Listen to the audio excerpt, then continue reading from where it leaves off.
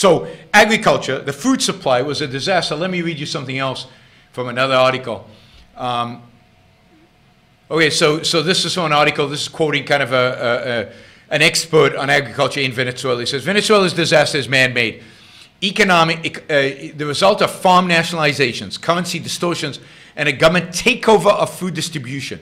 While millions of Venezuelans can't get enough to eat, officials have refused to allow international aid groups to deliver food. So this is about Maduro, made it even worse. And, he, and he, this guy writes, it's not only the nationalization of land. The government has made the decision to be the producer, processor, and distributor of food. Right? So they own the entire supply chain of food production. And it makes the food bureaucracy in Venezuela completely out of control.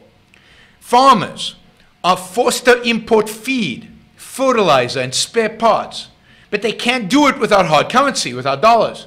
And the government has been hoarding the dollars from oil exports and using them to redistribute and re using them to do all kinds of other things other than let farmers actually buy the stuff that they need.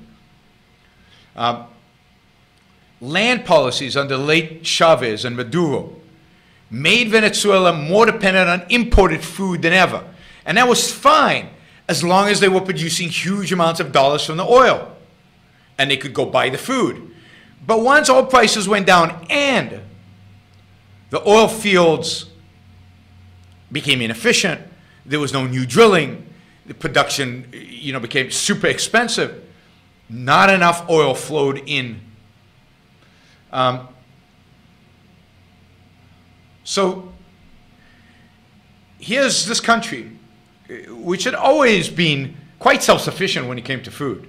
Fertile ground, expert farmers, corporations that knew how to distribute food, some of the largest in Latin America. And they were incredibly successful at producing food, a rich country.